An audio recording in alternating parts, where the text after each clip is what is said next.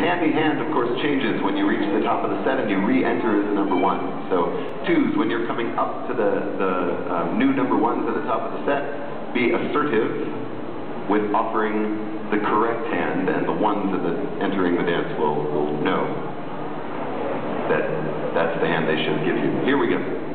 Boiling mud.